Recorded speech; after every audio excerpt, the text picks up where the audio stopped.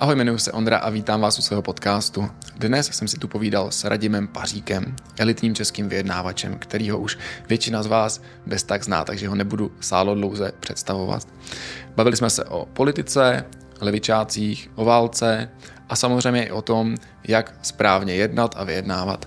Důležitý odkazy na jeho školení a kurzy dávám do popisku videa. Teď už pojďme na rozhovor.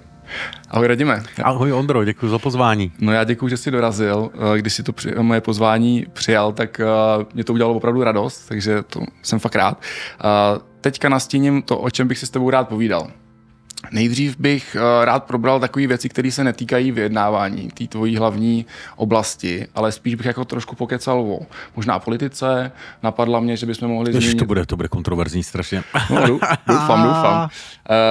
Uh, něco o válce a možná i lehce vyjednávání týkající uh, téhle oblasti, protože to je podle mě důležitý téma možná není moc důležitý se o tom bavit, ale obecně ta válka nás se nás hodně dotýká, to je další věc. No a potom uh, v té druhé části bychom se mohli dostat právě k vyjednávání jako takovému, to znamená, čemu se věnuješ, jako školíš, na co si dát třeba pozor, když prodáváme eh, svoji nemovitost nebo tak. Mm-hmm. Jo? Tak uh, začnu zlehka a mám na tebe otázku. Co máš proti levičákům?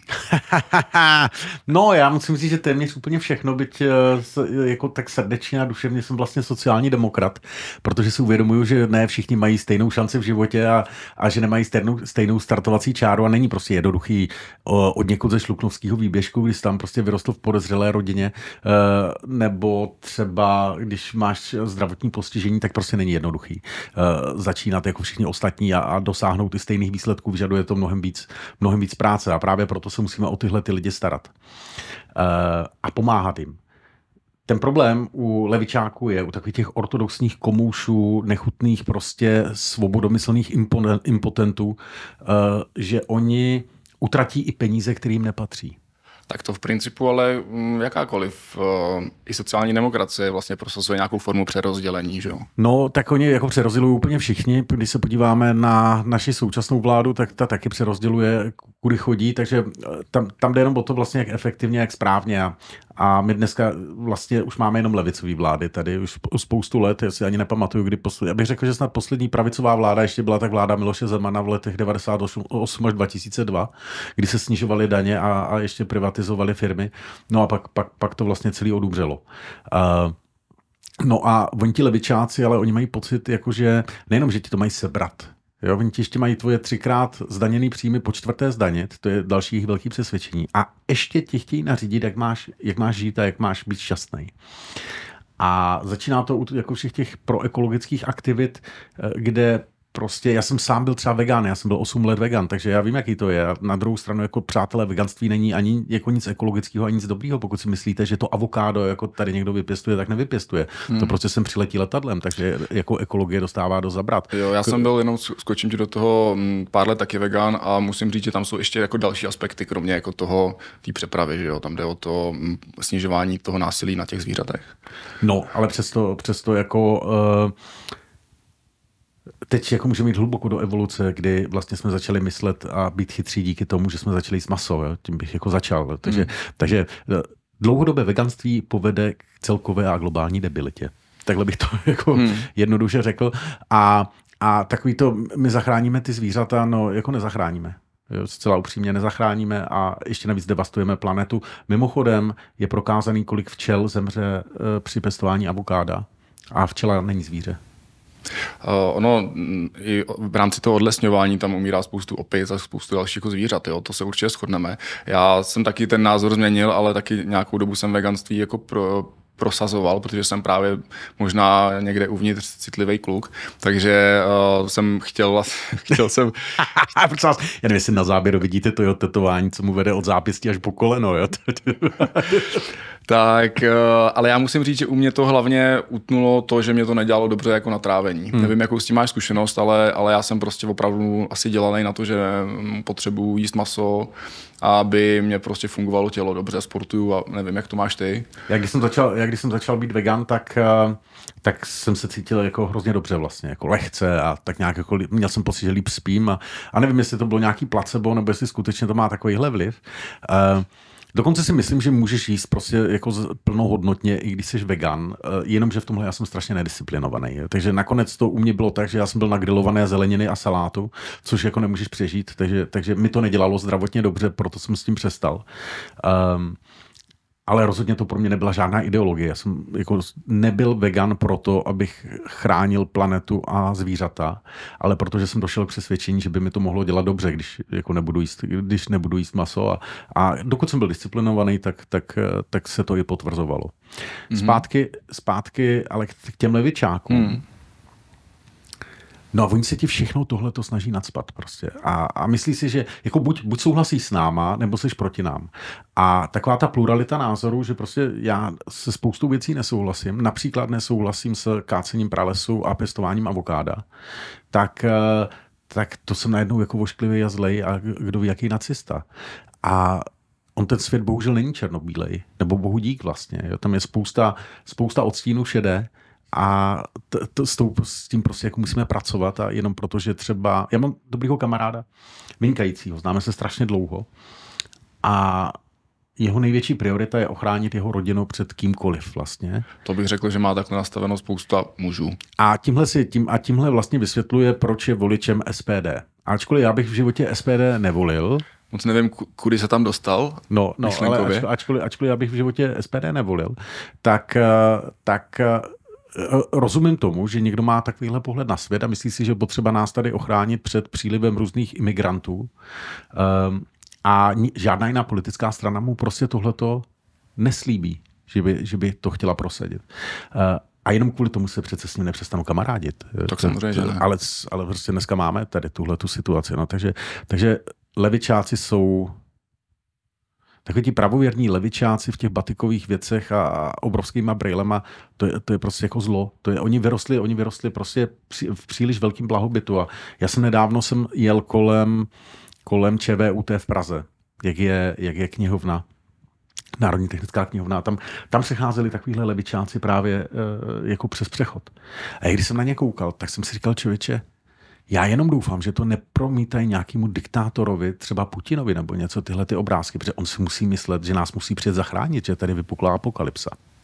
Já jenom zmíním, že velkou část jako environmentálních aktivistických skupin podporuje i Kreml, protože ono to jako v jedné fázi to bylo například odklon od jaderné energetiky směrem právě k eh, plynu, což jim hodně sedělo a zároveň celkově mm, vlastně to, ten trend uh, environmentální jako hodně potlačuje schopnosti Evropy v průmyslových oblastech, takže oni to jako docela je prokazatelný, že oni tyhle ty um, tyhle ty levicoví extremisty, kteří mají právě záběr na tu environmentální politiku, tak oni podporují rádi. No. Hmm. To nevím, to jsem neslyšel, nečetl, nemám to potvrzený, takže, takže věřím tomu, že, že, že, že, že, že jako ty teorie kolem toho můžou být různý, kdo to platí eh, a jak to platí. Ostatně my si, to, my, my si je podporujeme ze státního rozpočtu jako neziskové organizace velmi často. Já mám spoustu neziskových organizací ráda, jsem rád, že tady jsou, je to ADRA třeba, že jo, která pomáhá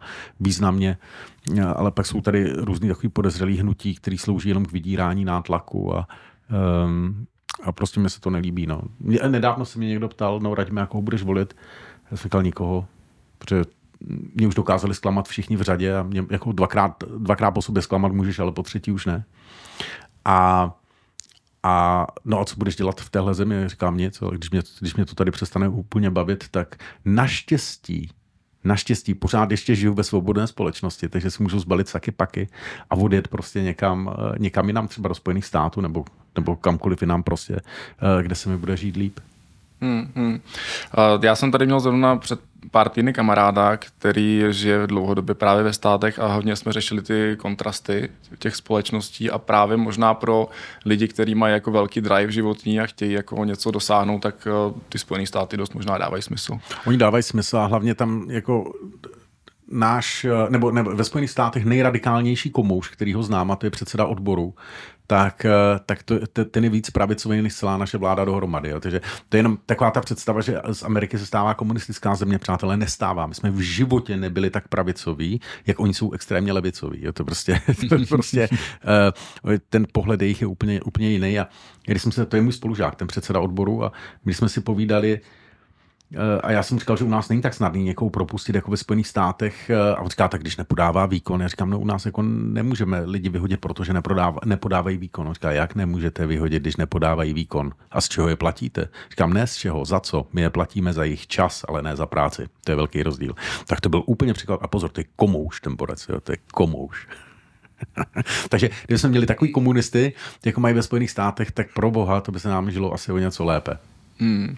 A uh, sociální demokracie jako uh, strana, která v Čechách je tomu nejblíž, tak kromě sociální demokracie možná Piráti mají takhle jako politicky, jako je, to, je to tenhle ten směr. A tak my tady máme spoustu takových, uh, takových uh, entit, uh, nesmíme zapomenout na klasický komunisty, že s, s předsedkyní Kateřinou Konečnou, což mi přijde signifikantní, že po té, co se nedostali do, do sněmovny, tak si zvolí předsedkyní, která se jmenuje Konečná, to věřím, že jim to vydrží. Uh, mně třeba i přijde brutálně nechutný, že strana tohoto typu sídlí v ulici politických vězňů to normálně, to bych nechal soudně vystěhovat, nebo nevím, prostě, nebo jako někdo měl nějak, nebo přejmenovat tu ulici, posunout ji dál, jo, ale prostě to přece není možný strana s touhle historií. Jo. To je, to, to, to je, kdyby prostě já, kdyby, kdyby byla ještě povolená NSDAP, tak kdyby, kdyby, kdyby sídlila prostě v židovské ulici. Jo, to, mně to přijde úplně podobné. V Terezíně. No, no, nebo si udělali sídlo v Terezíně. Jo, prostě jako strašný. Prostě strašný. A, a, a, takže není to jenom sociální demokracie, no a sociální demokracie dneska je já nevím, já nevím, je vůbec ještě? to prostě, já taky teď, nevím, no. Teď to je, po, po té, co se, co, po té, po té, co se, co se přejmenovali na socdem a zvolili si nový předsednictvo, tak zmizeli úplně, takže um, vlastně jich není škoda. Mm, taky si myslím. Já, jako, já jsem spíš jako napravo tu, ale spíš mě zajímá teda, takže uh, pravo-levý spektrum tu osu jsme si tak nějak u tebe jako vyjasnili a teďka pojď mi spíš říct, uh, jsi spíš konzervativec nebo progresivní? Co, když třeba řeknu konkrétní otázku, co třeba manželství pro všechny, jak se na to, na to díváš? No, s tím má malinko problém, protože co když se někdo nechce ženit? Tak se mu to nic nemění? Ne, tak když je to pro všechny, tak pro všechny, ne? Mně je to asi úplně jedno. Jo. Já si myslím, že tyhle ty věci... Já, já jsem konzervativní typ. Já si myslím, že tradiční rodina by měla přetrvat, že bychom ji neměli nahrazovat nějakým jako novým umělým konstruktem.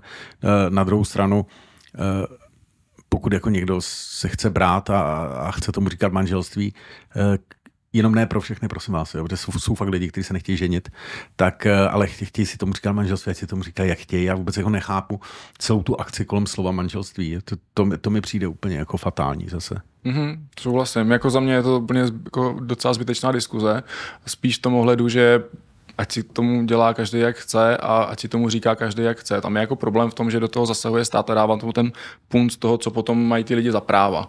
Jo, takže já jsem určitě proto zrovnoprávnění v tom ohledu, aby prostě ti lidi, kteří jsou prostě spolu jako partneři stejného pohlaví, tak aby mohli mít stejný práva jako ti manželé. No já hlavně si myslím, že to je úplně postavený celý na hlavu? Že, že to je prostě uh, celý úplně mimo a že věci typu registrované partnerství, nebo jak se to jmenuje teď, Eh, protože oni to ani jako neschválili jako manželství, tak, eh, tak by vůbec neměli existovat.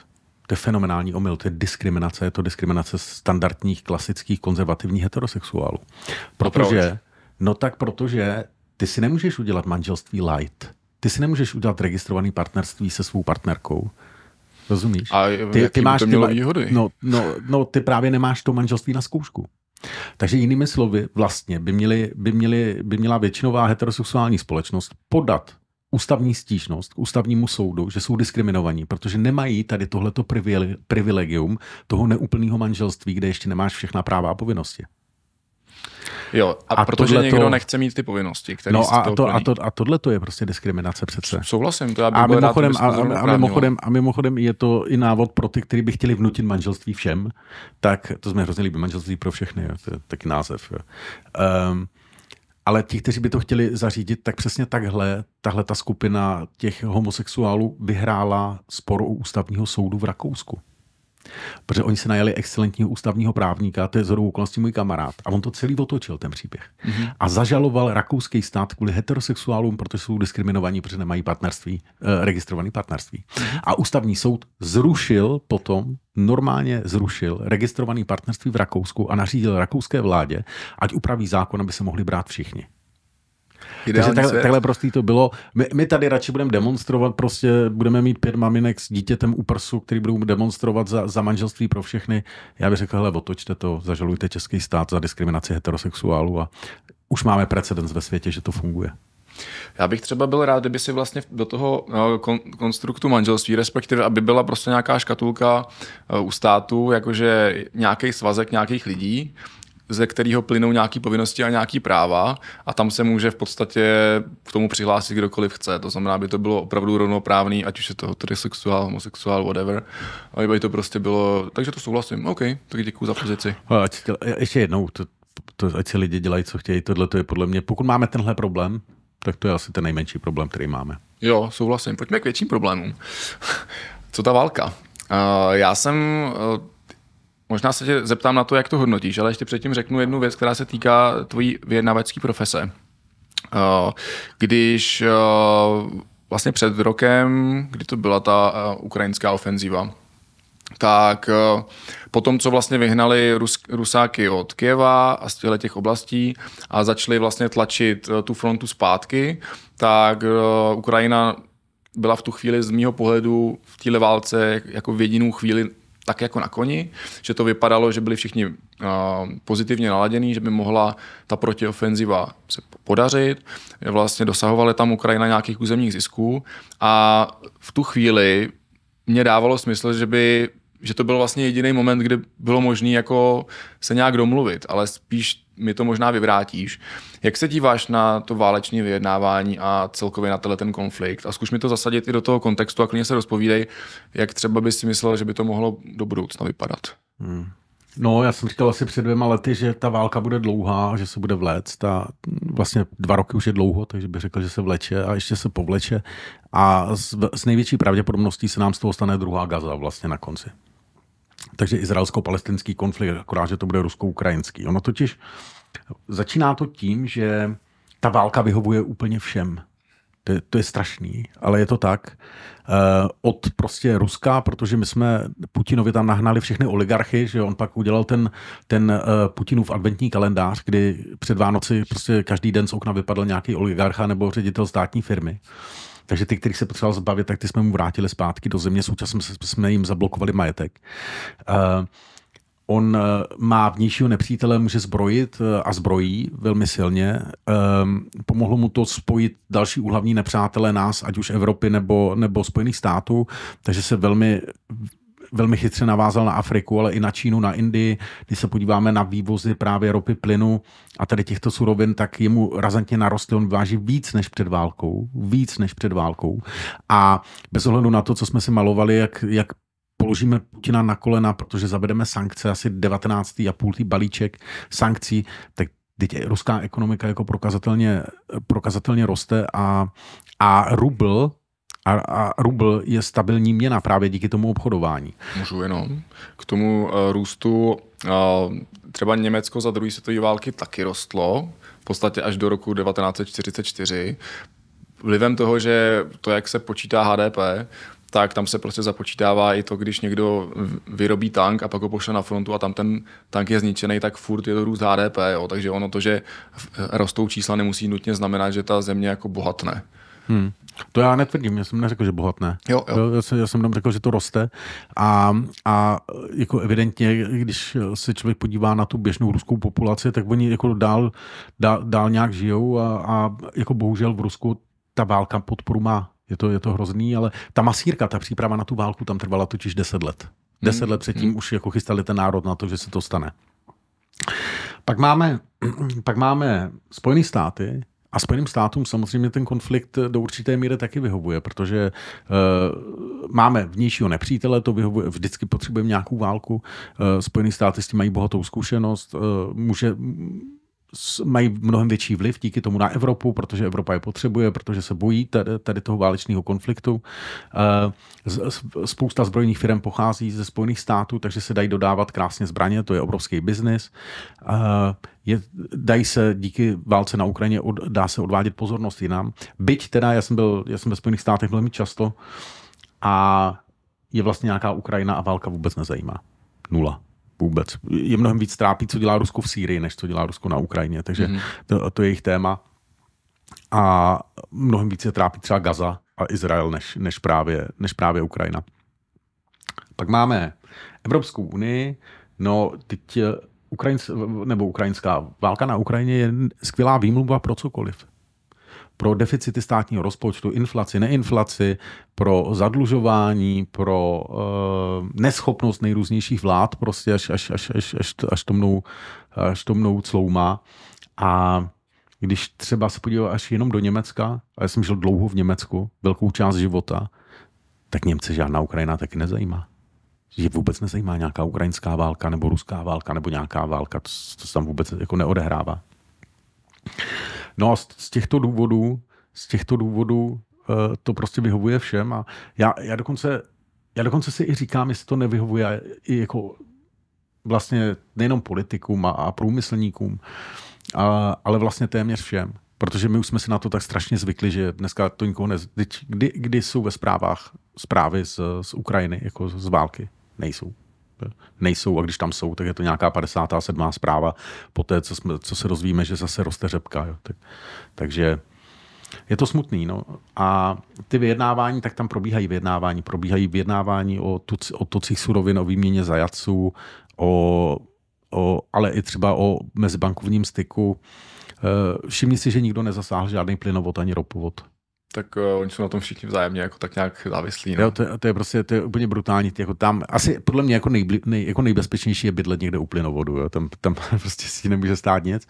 Takže to je taky super. Uh, a my, když se na to podíváme, na ty vyjednávání, tak, tak uh, oni tam startovali. Oni tam startovali v určitých chvílích. To nebylo zrovna ve chvíli, kdy Ukrajina zahájila tu ofenzivu, protože v tu chvíli to, to, to jako nebyl důvod k vyjednávání, ale na stole existoval návrh Ruska na uzavření dohody uh, už vlastně na začátku tady toho konfliktu a nakonec, nakonec uh, to ukrajinská strana odmítla po příslibu pomoci, vojenské pomoci ze strany západu, tak, tak ten návrh odmítla. No ono, já nevím, jak dobře těm Ukrajincům vlastně pomáháme, abych pravdu řekl. Mě taky trošku trápí, protože oni tam, oni tam tak jako válčí, neválčí. Jo, oni dostanou tanky, nemají do toho kuličky. Jo? Pak dostanou kuličky, zase na to nemají tanky. Jo? E, dostanou letadla, nejsou na to proškolený. Jo? Prostě my jim tam posíláme, neposíláme. Oni vždycky jedou do posledního náboje a teď a jasně, že tam je korupce, a jasně, že se tam rozkrádá a jasně, že tam tečou prostě miliony nebo možná miliardy bokem a to přece jako nemůže být ve stavu války jako téma. To, to prostě, to se děje vždycky všude, ve všech válkách, prostě vždycky tam někdo krade. Jo? Takže, takže eh, ale s tou naší pomalostí, kdy my prostě hlasujeme tři týdny o dalším balíčku sankcí a o, o, o balíčku pomoci, no mně to přijde úplně jako ostudný, fakt ostudný. Já si myslím, že to souvisí s tím, jaký máme tady demokratický, že to je možná jako inherentní vlastnost demokracií, takže ten, ten rozhodovací proces a ta akceschopnost je nesmírně pomalá. Ono teprve teď po dvou letech eh, se tady ty zbrojovky v podstatě probraly. Dá se říct, že minulý rok bylo schvá- eh, slíbený Ukrajině nějakých milion těch dělostřeleckých granátů, dodali jsme 300 něco tisíc. A prostě mě to akorát ukazuje, že v těch časech, kdy je potřeba dělat eh, rychlý eh, rozhodnutí, tak ta demokracie je prostě na to moc pomalá. Že prostě nejsme schopní jakoby nejsme akceschopní. No, ale o to nejde. Ono totiž, eh, já to řeknu úplně jinak. Kdyby stály ruský tanky na hranicích Německa, tak bys viděl, jak by se rychle rozhodovalo. Jasně, no. To by prostě, to, to by lítali, to, to, to, to, to by prostě lítali uh, rozhodnutí velice rychle. Takže to není přece o tom. To je okay. o tom, že je to všem ukradený, že to je biznis, že tam mají svoje vlastní politické zájmy, vůbec jich to netýká, takže můžou hrát tady tuhle tu prodlužovací a zdržovací hru. To je ono, to je ten problém. Protože až by stáli v Berlíně Rusáci, tak to, to bychom viděli úplně jiný systém rozhodování. Hmm, to mi hmm. věř. OK, OK. Je to škoda, no. Já jsem dokonce teď nedávno slyšel, že se to hodí právě i Rusku z toho pohledu, že oni jak tam posílají vlastně primárně um, Rusy, kteří nejsou Um, z těch velkých měst a z toho centrálního Ruska, ale jako ze Sibiře a z různých těch okrajových aglomerací a částí, tak v podstatě si tím řeší i takovou tu uh, vnitroruskou otázku toho, že tam jsou ty přidružený národy, který vlastně ne, se necítí být úplně Rusy a mají tam takový ty etnické problémy, takže vlastně tímhle oni vlastně vymírají a mm, vlastně se to všem hodí. No, no to, to ani nevím, zase to, to, to, to, takhle hluboko v tom nejsem. Um, ale tak jako možný je všechno. No. Já jsem, nedávno jsem to říkal, na nějakým, na nějakým kongresu. Já jsem říkal vlastně, my tady máme dneska rozdělený ty lidi na to, že někteří říkají, že jako Rusové jsou špatní a Putin je, je, je hajzl, souhlas. Nemyslím si, že všichni Rusové jsou špatní, ale prostě jako Putin je hajzl. A, a druzí říkají, no Amerika je stejná. Amerika taky dělá invaze prostě po, po celém světě do jiných zemí, kam nepatří. Ano, souhlasím. Afghánistán z pozice Ameriky nebyl nic jiného než invaze, a jako všechny ostatní státy taky, že jo, Irán a podobně. Nebo Irák, pardon, Irák a podobně. Má to jeden drobný háček, ale já budu radši do konce života žít pod to americkou totalitou, kde ještě mám pořád nějakou slušnou vymahatelnost práva a jako když se mi to nelíbí, můžu odejít někam jinam a můžu třeba se přestěhovat do Ruska, když budu chtít, než jeden den nebo co jeden den, jednu minutu pod totalitou Vladimíra Putina a Ruska, kde není vůbec žádný právo, kde lidi padají z oken, kde prostě si dělá ten člověk, co chce. Um, a kde prostě jako normální člověk nemůže chtít žít. Já to vnímám úplně stejně a on vlastně ten rozdíl toho amerického a ruského imperialismu je v tom, že Rusko si to území vojensky přepadne, zabere a anektuje a v podstatě ho přidruží k Rusku a potom z něj čerpá zdroje. Amerika to udělá tak, že v podstatě si rozšíří do té oblasti sféru vlivu a potom tam vymůže to, aby tam mohl fungovat volný obchod. To znamená, že ano, čerpá zdroje, ale úplně jiným mechanismem a je to mechanismus, během kterého i ten stát, který je vlastně pod ve sféře vlivu Spojených států, tak na to může něco vydělat a vlastně si žít docela dobře. To podle mě je v principu i trošku vidět i v České republice, protože po rozpadu Sovětského svazu my jsme vlastně taky spadli po, do západní sféry vlivu, ne tolik i částečně Spojených států, ale i vlastně západní Evropy. A, a takže sem přiteklo spoustu zahraničních investic, ale na tom, tak díky tomu teďka si některý lidi si stěžují třeba z SPD, že teďka všechny firmy tady patří zahraničí, nebo jsou zahraničně vlastněný, ale na druhou stranu ono to zvýšilo tu tu schopnost lidí nebo tu kupní sílu naš, našich obyvatel. Jako, a vlastně to díky tomu jsme zbohatli. Takže no tak ono to je samozřejmě obrovský štěstí, jako že tady padl ten komunismus, že přišly zahraniční investice, kdo by to chtěl, kdo by to tady chtěl tenkrát řídit, prosím tě, teď se podívej na ty podnikatele z těch 90. s těma koženýma bundama. Jo. Uh, to prostě, a teď jako spousta z nich udělala skvělou práci, ale spousta z nich to prostě vůbec neuměla, nebo to jenom jako vyrabovali a vyplenili. Takže uh, prostě to, že my jsme prokazatelně zbohatli a že třeba i vstup do Evropské unie bylo velmi správný rozhodnutí, tak tak prostě uh, mimochodem všichni už zapomněli, že ten, kdo podepsal přihlášku do Evropské unie, byl Václav Klaus. To byla jeho vláda, která to rozhodla. Dneska, dneska se na něho můžeme mračit a, a, a tak dále, ale on byl ten, kdo, podep, kdo, kdo to podepsal stejně jako vstup do NATO. Takže nám to nám, nám to prokazatelně pomohlo a pomáhá. Všechny ty keci. O to ano, samozřejmě, že nás Evropská unie omezuje. Ano, samozřejmě, že tam sedí blbí úředníci. Ano, samozřejmě, že spousta nařízení je zbytečných. Ano, samozřejmě, že nás, že když to přepísknou, tak schudnem. Ano, samozřejmě, že může díky tomu skolabovat ekonomika, když jako se ty opatření přeženou. Ale v pořád je to ještě lepší alternativa, než jít v Rusku. Mm-hmm. Souhlasím. Jo, jo, jo. Dobře, a co se týče teda válečního vyjednávání jako takového, tak já jsem přesvědčený o tom, že uh, většina válek vlastně končí tím vyjednáváním. A teďka jako, co se z tvýho pohledu musí, možná až třeba krom druhé světové války a Německo, Německo, Německo bylo vlastně úplně zašlapaný už a vlastně už nebylo vojensky schopný pokračovat, ale většina jinak konfliktů uh, končí u jednacího stolu. Jaká myslíš si, že na té frontě musí nastat situace, aby se to stalo. Alespoň jedna ze stran musí přestat věřit tomu, že vyhraje. To je to. Jinak neexistuje žádný důvod, aby se vyjednávalo. Dokud si bude Zelenský myslet, že může vyhrát, tak nebude vyjednávat. Dokud si bude Putin myslet, že může vyhrát, tak nebude vyjednávat. No to je základní pravidlo prostě. Dokud si obě strany myslí, že můžou vyhrát, tak budou válčit. Mm-hmm.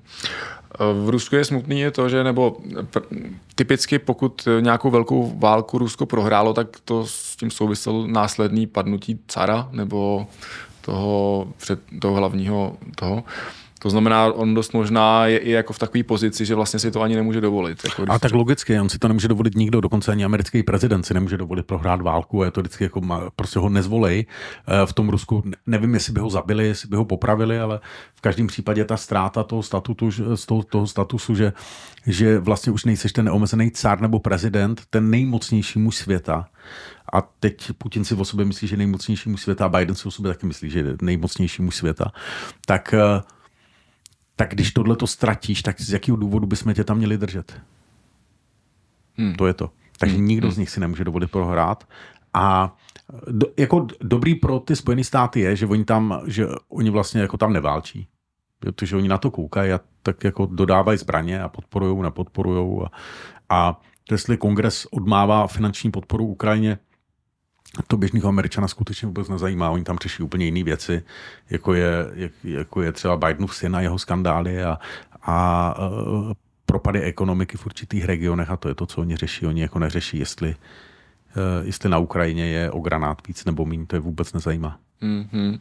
Oni řeší hlavně třeba teď tu svoji jižní hranici a tak, jakože pro ně je to přece jenom jiný kontinent, tak já to na jednu stranu trošku chápu. No. A tak my taky nevíme, co se děje v Africe. Jo, to je prostě, to je jak, nedávno někdo říká, ha, ha, ha, američani jsou úplně blbí, oni ani neví, kde je Praha. Říkám, no, dobrý, tak kde je Filadelfie, nebo to, to ještě možná někdo ví, ale prostě... Ale vyjmenovat 50 států. Vyjmenujeme, vyjmenujeme prostě uh, americký stát, je hlavní města, jo. Ho, ho, ho. prostě, mně, mně se líbí taky to čes, český chytráctví, jo. To je prostě, rozumíš, to je, oni, oni, prostě, oni, oni žijou na obrovském kontinentu a, a tu Evropu si tam přeperou tak třikrát, jako v té pračce jejich americké, takže jako, proč by měli vědět, kde nějaká Praha, jo? ten koho nezajímá. Souhlasím, souhlasím. Uh, pojďme, uh, zmínili jsme tu Ameriku. Ty máš, uh, já jsem v jednom tvém podcastu slyšel něco o Harvardu. Hmm. Uh, jakou máš vlastně zkušenost se zahraničním školstvím? Tak vlastně, vlastně, já mám pozitivní. Já mám zkušenost s britským školstvím, s americkým školstvím a s švýcarským školstvím. A vlastně my místo, aby jsme se od nich jeli učit, jak se to dělá, tak tady pořád vymýšlíme kolo a snažíme se to dělat tak nějak jako my se snažíme našminkovat školství z doby Marie Terezie, aby to vypadalo jako dneska. Jenomže Marie Terezie a to školství je poněkud starý a je vidět, jako, že to je starý, že už to nemůže chodit, že, že to nemá zuby, eh, že, že to má plesnivý vlasy a že, že to je napůl zhnilý. A co mi přijde skvělý, třeba v těch Spojených státech na Harvardu, tak eh, ty dostaneš dopředu vždycky seznam to, co si máš načíst. A začíná to vlastně tím, že když si to nenačteš dopředu, tak nestíháš tak jako vůbec netušíš, o čem je řeč. Jo? Takže to tě vyvede z omilu. Uh, řešíš tam případové studie. Mimo jiné, ti profesoři, když ti přednášejí, tak to je show. To normálně, to by se dalo vysílat, jak dobrý to je, rétoricky, prostě akčně, je to zábava. Prostě oni, oni, oni se rozervou na tom, na tom vzdělávacím pódiu pro tebe jako pro studenta. A není to tím, že jsou to američani, kteří mají trošku jinou, jiný temperament, řeknu? Mm, to nevím, jsme jiný temperament. Tak ne temperament, ale jsou možná zvyklí víc uh, prezentovat se a celkově... No to ten... je právě to, co jsem říkal, že bychom se od nich mohli taky něco naučit. Jo, jo. jo no, že my na to nejsme zvyklí, takže tam přijde profesor u nás v prohuleném saku, vytahaným prostě. Ty tam něco čte, nedá se to ve velné většině případů poslouchat, ani mu nerozumíš, vůbec tě to nebaví. Jo, pak, pak ještě ty studenti sami prostě se, se, se snaží zjistit, co vlastně jim chtěl básník říct. Uh, No a když, to, když ho znáš dobře a dáš mu pěti kilo, tak ti prodá otázky s odpověďma. Jako úplně jako neuvěřitelné. A teď se nechci dotknout jako těch dobrých, dobrých kantorů. Jo. E, I zábavných. Já jsem zažil jednoho ve svém životě, který, který byl zábavný. Tady v České republice na vysoké škole, což je smutný mm. z celé mm. té řady. Přátelé, je to smutný, když unudíte svoje vlastní studenty k smrti. Já jsem si dokonce musel dělat PhD v zahraničí, protože já jsem jako tady to vůbec se na to nemohl dívat. Eh, ani výzkum jsem tady nechtěl dělat, to bylo šílený. Tak, ale zpátky k tomu Harvardu. Mm-hmm. No a ty vlastně nejenom, že velice intenzivně studuješ, a to není jako, že přijdeš v úterý dopoledne a ve čtvrtek odpoledne. Jo? Ne, ne. Tam jako se studuje velmi intenzivně od rána do večera. Večer dostaneš takovýhle fascikl materiálu a máš si to nachystat do rána. Takže žádná party s má žádná hospoda, žádný prcání, nic takového. E, prostě hezky se připravuješ na další den. A když se nepřipravíš, nemáš, to zase nestíháš. Jenomže ti profesoři to vidí, že nestíháš a začneš mít problém. Na druhou stranu, ale když už utratíš takovou raketu, protože nejlevnější semestr na Harvardu prostě stojí 80 tisíc dolarů, to je nejlevnější semestr. A to tam nebydlíš, nejezdíš, nejíš tak, eh, tak to si sakra rozmyslíš, jako jestli fakt ty úkoly nebudeš plnit a skončíš tak, že, že, že, že skončíš, jako že, že to nedoděláš. Je tam obrovská koncentrace chytrých lidí a teď to je jedno, jestli jsi na Nottinghamu ve Velké Británii, jestli jsi na Harvardu, eh, nebo jestli jsi na IMD v, ve Švýcarsku. Ty máš eh, to jsou prostě jako chytrý lidi, ambiciozní, kteří chtějí, kteří jsou zvyklí na sebe pracovat. A to je taky jako neuvěřitelná věc, když tam sedíš a, a nebo já, já jsem tam seděl mezi těma lidma a zjistil jsem, že jsem úplně, úplně blbej.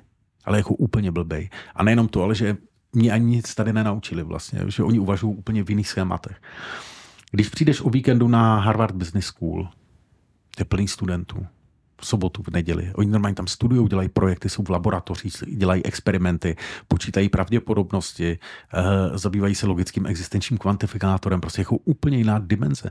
Já když se přijdu podívat tady, eh, na vysokou školu v sobotu nebo v neděli, eh, tak se, tak se ani nedostanu dovnitř. No, si myslím, no. Rozumíš? Samozřejmě, že to je nelevicový studovat o víkendu. Jo, je to fuj, Jo, není to work-life balance, jo, prostě. Uh, ale teď jako zase musím říct, přátelé, jako oni vám na to v té Americe úplně serou.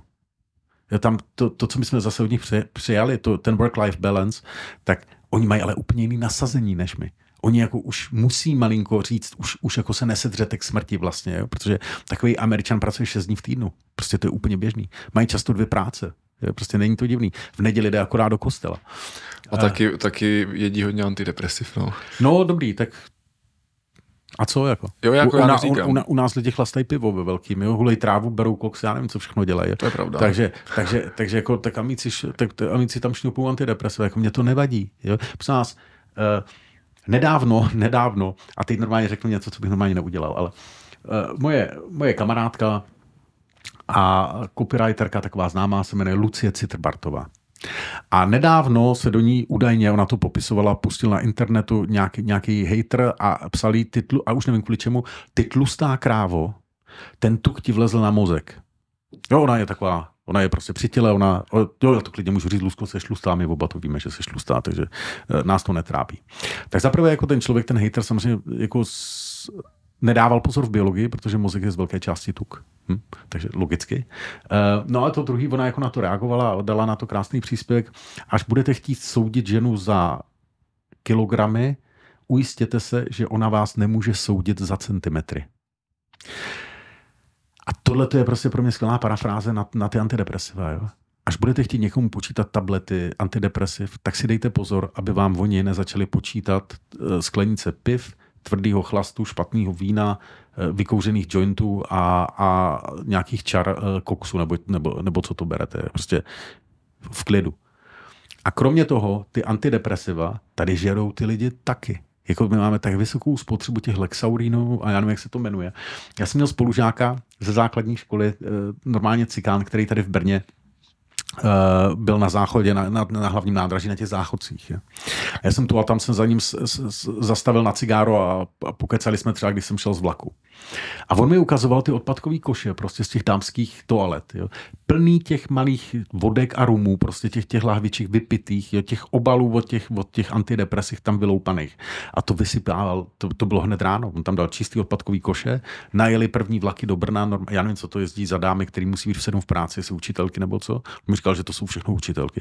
A to tam bylo normálně plný ty odpadkový koše tady těch placatých, že se nalili a nadopovali předtím, než šli do práce. Takže ještě předtím, než budeme soudit Ameriku za antidepresiva, tak bych odebral z kanálu jako vzorky, prostě kolik toho tady cirkuluje a myslím si, že bychom byli překvapení. Já rozhodně ten americký uh, agresivní um, jakoby kapitalistický styl života neodsuzuju, já jsem taky pravičák a v principu mě to hodně se líbí, ale jenom jsem chtěl trošku kontrolovat, ať si tady celou dobu jenom tak jako vzájemně nenotujem. A já jsem tady měl na podcastu mimo jiné adiktologa nedávno a právě jsme řešili hodně ty nejproblematičtější látky v Čechách a je to, je to chlást a je, jsou to právě léky na předpis. Jsou to hmm. tyhle ty dvě kategorie, které tady jako jedou ve velkým, takže určitě souhlasím. No, no a to, to, normálně ty lidi si to, že si to nechá, nechají si předepsat vybálení a jedno dají kamarádce nebo něco. Prostě normálně to je, ale ono to není nový. Jo, když to tady jede od no, ty návykové látky, a to je jedno, co to je, jestli to jsou houby, cigarety, alkohol nebo nějaký drogy, prášky, kdy to běží od té doby. Co, vždycky, jakmile to vznikne, tak hned to běží. Prostě. Eh, akorát, že něco je legální, něco je pololegální a něco je legální něco legální bylo, pak to přestalo být legální, jako kokain, pervitin, to byly všechno léky v lékárnách, že jo, kdysi. To ani nevím, že, pervit, že pervitin byl pervitin, pervitin No to byl vlastně efedrin, že jo? No, no na efedrinové bázi. Uh, ano, ale já teď nevím, jestli se to přímo jmenovalo pervitin, ale jako za druhé světové války se to běžně používalo jako ve, v rámci jako vojenství a kokain rozhodně se dal koupit v lékárně za první republiky. Hmm. Takže no, ale to jsme trošku odbočili. To jsme odbočili. Dobře. A tak ono se to zase, já myslím, že ta společnost směřuje k tomu, že za, já už se toho nedožiju, ale že za pár let budou drogy zase legální. že jsou kantony ve Švýcarsku, kde už zase legalizují drogy, takže si myslím, že, že se toho dožijem. A já nevím, já na to nemám názor, abych pravdu řekl, jestli je to dobře, špatně, fakt nevím, jako netuším. Je to asi jako s čímkoliv. Jo. Prostě lidi, kteří se chtějí uchlastat k smrti, tak se uchlastají, i když to bude ilegální. A ti, kteří jenom tak občas se napijou, tak jsou v pohodě vlastně. Možná to bude stejný s tady těma marihuanama spol. Jo, přesně tak. Jako my jsme vlastně tady řešili tady tu otázku s adiktologem taky a možná, že já mám teďka názor na to takový, že by všechny drogy mohly být legální, ale k dispozici v nějakých jako specializovaných obchodech aby se v podstatě díky tomu, když to člověk koupí, tak aby tam nebyly nějaký příměsi, aby ho to nezabilo a tak. Na druhou stranu, aby to bylo jako lehce pod kontrolou, aby si to přece nemohli děti kupovat a tak. Takže to je, to je jako věčný téma, tak eh, já možná jsem taky spíš pro, aby ty eh, veškeré drogy vyšly z ilegality, ale aby to bylo nějakým rozumným způsobem kontrolovaný. No, já říkám, já na to nemám názor, asi, asi, asi to mám jako respekt a možná i despekt, protože jsem stará generace a mě vychovali v tom, že, že uh, když někdo bere drogy, tak je to feťák. Jo. jo. A feťák je jako hnusný slovo. Jo, jo, jo, a ty nemáme rádi. A ty nemáme rádi. Na druhou stranu, když já prostě si, si, si, měl období, kdy jsem večer prostě vypil lahev vína, tak jsem byl normální jako alkoholik. To můžeš, to můžeš jako v klidu, protože lahev vína není jako běžná porce. A, hm, a vlastně mi to tak nepřišlo. A nepřišlo mi to divím, protože alkohol byl vždycky v pohodě. Uh, ještě k tomu školství. Mm, byl bys teda pro privatizaci v Čechách? No, já nevím, jestli pro privatizaci. Eh, v každém případě už, už jsem vyrostl z toho, že by školství mělo být bezplatný. Takže ne privatizovaný respekt, to nemůže být. Jako, tam, tam je totiž problém v těch incentivách. Jo? Pokud jakoby, to bude placený z jedn, ze státní kasy, tak tam prostě nebudou ty tržní mechanismy, které budou profilovat no, ty školy někam. No, no, to je právě to, že, že si nemyslím, že by školství mělo být bezplatný. Jo, pardon, já jsem tě špatně rozuměl. Mysl, myslím si, že naopak eh, prostě by studenti sami měli chtít investovat do školství. Samozřejmě se jako musí to zpřístupnit, to znamená, musí být možnost, aby se na to vzali úvěr, eh, na to studium ale jako brutálně bych vysokou školu spoplatnil. Normálně hmm. brutálně. A tě, mimo jiné bychom se zbavili i takových podezřelých zbytečných oborů, eh, o kterých, eh, kde ty lidi vůbec jako neví, co budou dělat. Jenom když se podívám, kolik vychází z vysokých škol marketingových specialistů, jo? expertů na nějaký marketing. A nic proti nic proti marketingu. Já jenom si kladu otázku, jestli skutečně potřebujeme tolik expertů na marketing, jestli skutečně potřebujeme tolik expertů na různé jako antropologie a, a, a ono je populární se očírat o genderový studia, tam si myslím, že jich nevíde tolik, jo, takže, takže to ať klidně zůstane těch 100 studentů, nebo kolik to je, to mi nevadí. Ale prostě ty desetitisíce lidí, o kterých vůbec nevíš, oni sami neví, co umí. Oni se hledají, ale já to na jednu stranu chápu, že oni vlastně moc nemůžou vědět ani jako co, co chtějí. Jo. Ježíš Mariandro. Ty, ty, jsi, ty jsi komouš, vole. Ne, já jsem pro taky, aby Jak to bylo... se hledají, jako, ať se na mě nikdo nezlobí, ale jestli jako ve 20 letech, když jdeš na vysokou školu, se, ještě, ne, se ještě nenašel, jo. Já tak, myslím, že většina lidí tak to, to, směl, to směl teda hrozně smutnou pubertu, jako. No já bohu dík jo, ale co tak pozoruju kolem sebe, tak spousta lidí jako začne tu svoji vášeň životní hledat, nebo oni třeba hledají, ale najdou ji třeba ve 30 až, jako zjistějí, co by teda chtěli dělat. Tak ať jdou na druhou vysokou. Hmm, hmm, hmm, jo, jo, jo. A nebo na první, ale ve 30, to není žádná výjimka.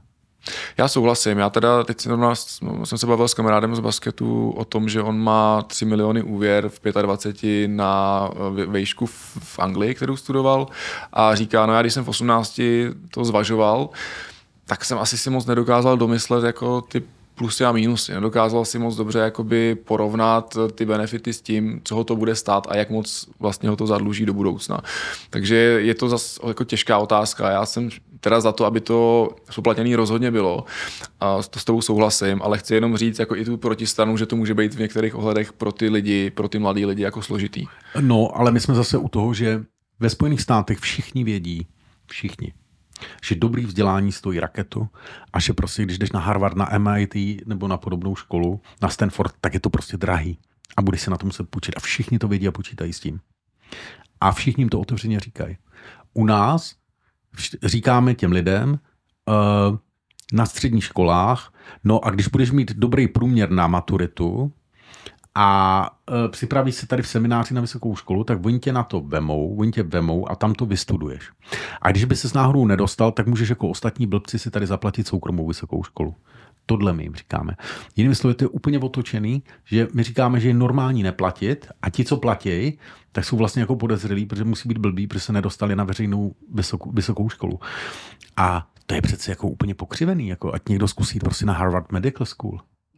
Je to prostě nestojí, já nevím ani kolik to může stát, jestli to stojí 180 tisíc dolarů ten semestr, abys mohl být lékař.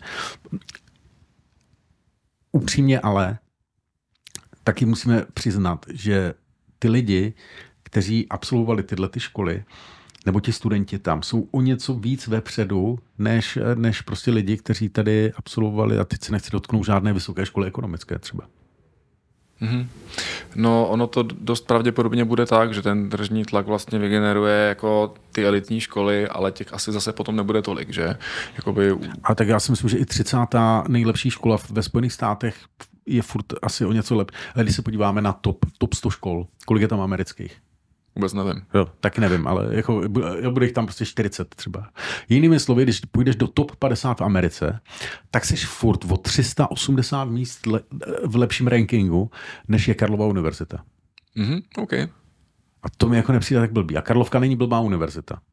To si, jako, jsou, jsou tady horší. Jo jsou tady horší. Jako v Čechách určitě. No já to nedokážu posoudit, uh, jenom tak jako zajímalo mě právě, jak to vnímáš, abych uh, pokud ne plně privatizoval, tak určitě bych uh, tam zavedl nějaký spolupodílení právě um, na ten provoz, protože pak člověk, pak jsou tam ty motivace přesně pokřivený, pak si toho člověk neváží a je většiný student do 30 nebo do tak dlouho, jak uh, mu to ten stát umožňuje, hmm. čerpá benefity, takže to souhlasím. Dobroš. Uh... No, jako mimochodem, ještě pokud takový lidi by chtěli někdy jako jít někam do zaměstnání a studovali do 30, aby si užili, aby si užili vlastně svůj vlastní, svoje vlastní prodloužený prázdniny až do 30, tak takový lidi nemůžeš nikdy přijmout do firmy. Jo, to jsou mají levicoví extrémisti. A to jsou, to, jsou, to jsou levicoví extrémisti a, a prostě výkonnostní impotenti. Uh, mám teďka dotaz. Uh, krom levicových extremistů si zmiňoval i baťuškáře. To bereš jako jednu skupinu lidí. Ne, to jsou různé skupiny lidí, samozřejmě. Kde je to, kde je to baťuška? No, to se mě mnohokrát ptali, já už jsem na to mnohokrát odpovídal. Jako před, před lety, když jsem to vytáhl, tak jsem v každém rozhovoru odpovídal na to, kdo je baťuškář. A teď se zase evidentně přišla nová generace čtenářů mých příspěvků a posluchačů, kteří objevili baťuškáře po mnoha letech, jo, asi po sedmi letech. Takže, takže prosím vás, Baťuškář vznikl tak, že jsem přišel uh, na jednání s, s jednou marketingovou agenturou a ředitel měl spoždění s tím, že ať, ať uh, chvilku počkám, že mají zrovna školení uh, efektivní komunikace. Já říkám, je, tak to bych se chtěl taky podívat. Já jsem tam vešel a tam první, když jsem otevřel ty dveře, tak jsem uviděl prostě ne lektorku, ale byl tam byla tam židle a na ní byl odložený baťůžek. Jo. Ale takový ten vojetej s takovýma těma vohmatanýma prostě, ty jak se jmenují tady ty pásy prostě, uh, s, tím, s tím jako zipem evidentně starým prostě odřený to bylo takový prostě s tou lektorkou jezdil ten baťůžek dlouho po světě, evidentně. Jako, že, uh, jí nebylo Jí nebylo 35, bylo jí víc a ten baťušek měla od střední, prokazatelně. A pak jsem se podíval na ní a ona tam zrovna říkala, že když někdo proti vám vznese nějakou výtku, tak máte právo se bránit a řekněte, ale já to vidím tak a tak. A já říkal, OK, tak to mi stačilo a hned jsem se to propojil. Tyhle ty dementní rady, které nefungují, který nefungují a vedou jenom k tomu, že se brutálně s někým pohádáte a pošlapete vztahy. Pokud mi nevěříte, zkuste to doma. Řekne partnerka něco nebo partner a e, bez ohledu na to, jestli souhlasíte, nesouhlasíte, tak řekněte ale podle mě a řekněte nějaký opak. Jo? A zapněte si, zapněte si stopky na vašich, na vašich trých levicových hodinkách, jak dlouho to bude trvat. Jo? Já vám garantuju, že do 4 vteřin zažijete takový brutální tornádo, že to jste neviděli. Takže mě se to propojilo, paní lektorka s tady těmahle radama z roku 1953, s jejím baťuškem z roku 1953. A když jsem zavřel dveře, tak říkám, co je tohleto za baťuškáře? A už to a takhle to vzniklo. Stalo. Takže baťuškář je člověk, který učí nefunkční rady, eh, který pravděpodobně ani si sám nevyzkoušel, nebo je tak totálně nešťastný, že chce šířit tohle neštěstí mezi ostatní lidi. A může za to účtovat tak strašně málo peněz, že vlastně si nemůže koupit ani nový baťůžek. A já jsem se dokonce i na to ptal, tam jedné, jedné jedné, jedné z ředitelek té agentury, říká, já říkám, Raduško, co to je za baťuškáře tady máš? A ona mi říká, no, ona, ona je levná, ta paní. A to je, to je přesně ono, jo. To, je, to je ono. A kdyby, prosím nás, baťuškáři, tak si půjčte, naučte se něco pořádně, i kdyby to mělo být pečení koláčů a začnete učit pec koláče, ale že je sami pečete, že to umíte, že víte, jak se pečou, že umíte nechat vyknout těsto, že prostě umíte, eh, jo, když se podíváme na toho cukráře, co dělá to peče celá země, nebo jak se jmenuje ta soutěž, tak ten člověk evidentně jako umí dělat ty dorty. Umí to prostě. Umí to. Jak můžete školit něco, co neumíte a pak se za to určitě míň. Prostě to, to, to je jako tak hrůzostrašný. Nevím, no takže takhle vznikl baťuškář. A, a vlastně, když někdo něco umí, já se spoustou lidí nesouhlasím. Ale když něco umí a je to úplně to čiší z toho člověka, nebo má dokonce za sebou i jako track record, že má výsledky, tak by s tím nesouhlasím, tak by si nikdy nedovolil ho označit za baťuškáře. Ale pak je spousta lidí, třeba i ve vyjednávání. Jsou to podvodníci, zločinci, levicoví extrémisti, dlužníci, jsou v insolvencích tady tyhle ty lidi prostě a jsou to baťuškáři. Jsou, a teď já dám úplně jeden příklad za všechny slibovali na 19. až 20. dubna obrovskou konferenci s vyjednávacíma hvězdama o vyjednávání v Praze. Teď pokoutně na jejich webu se objevilo, že se to nekoná, že jim skončil hlavní sponzor. A všechny ty hvězdy, které měly přiletět, nepřiletí. Toto chystali rok. Rozumíš? Tohle je baťuškářství, přátelé. Tohle je baťuškářství. Vy rok chystáte něco, co úplně zkrachuje ostatně jako vždycky. Ostatně jako všechny vaše projekty. Díky tomu máte ty dluhy prostě. A tímhle tím byste tady otravovali jedem svým vlastním jste otravovali český vyjednávací trh. A teď na mě, do mě útočí kde kdo, ale útočili tyhle ty lidi, tyhle ti podvodníci, komouši, baťuškáři a, a a prostě pořadatelští impotenti útočili na moje skvělý kolegy, kteří se mnou ani nemají nic společného. A takhle to dopadlo. To jsou baťuškáři. Chápu, chápu. Já jsem, když jsem to slyšel od tebe, tak jsem si myslel, že máš něco proti lidem, kteří cestují. Ne, ne, ne, pozor, já mám, te... já mám baťušek, já mám několik baťušků. Já jsem si konce nechal ušít baťušek, takže pohoda. To vůbec se jako... V tom případě děkuju, že jsi mě to vysvětlil, protože už to chápu, takže je to v principu, je to v principu někdo, kdo Eh, školí nebo dělá něco, co vlastně vůbec by dělat neměl a neumí no, to. Anebo, anebo, anebo učí, učí úplný píčoviny prostě. Hmm. A myslí si, že, do, že to stačí, když to učí levně, jo? Nestačí. No. Takže baťužek mám, baťu, ba, ba, baťuhy mám a baťuh je dobrý. Mě už i bolej, já už jsem starší, mě už mířím do důchodu, tak mě už i bolej záda. Já jsem si třeba nosil tašku takhle ještě v ruce. Pak jsem to předělal na kufřík na kolečkách. Jsem dlouhý roky jsem tahal kufřík na kolečkách. A uh, teď, teď, eh, teď třeba nosím baťoch a kufřík na kolečkách, protože jak jsem starší, tak potřebuji víc léků, víš. uh, pojďme teda na nějaké praktické věci. Jak při jednání s kýmkoliv, no, to je samozřejmě téma na 10 dní souvislého povídání, ale dám konkrétní příklad. Chci třeba prodat svoji nemovitost, a tak jakým způsobem postupovat, případě, že ji možná spíš koupit, to bude lepší. Chci koupit něčí nemovitost, jakým způsobem nějakých pár typů, eh, jak se do toho vyjednávání pustit, aby to toho člověka nepopudilo, aby to mělo prostě dobrý výsledek. Hmm. Eh, já bych začal tím prodejem jo, okay. té nemovitosti, protože zvažte, jestli skutečně musíte prodávat, protože to je škoda a pokud zatím nemáte nějaký další plán a jenom chcete ty prachy, tak jako prostě ty nemovitosti prodávat mně přijde nerozumný rozhodnutí, protože eh, v dlouhodobém horizontu, nebo co v dlouhodobém v horizontu jedné dekády nemovitosti nikdy neklesly. Ještě nikdy historicky. A nemůže se to stát při jejich omezeném množství. Tak a když, když teda jdete kupovat, tak zaprvé si udělejte přehled o tom, kolik tam, kolik tam tyhle ty věci stojí. Hmm. A to i z jednoho prostého důvodu, že pocházíte třeba z menšího města, přicházíte do Brna uh, a tady prostě jako nejnižší cenovka je 75 tisíc za metr čtvereční a to není žádný hit. A tak vás to může lehce vyděsit. Jako, a, a jsou běžné ceny 120 tisíc za metr, prostě jako není to výjimka.